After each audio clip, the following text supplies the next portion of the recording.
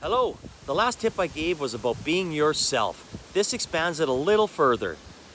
Being authentic allows you to build on being yourself. People will start trusting you and know that you are a person that they can rely on.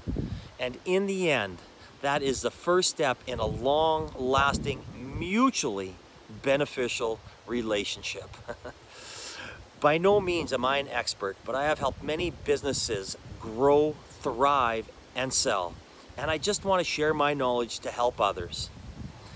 Have yourself a great day.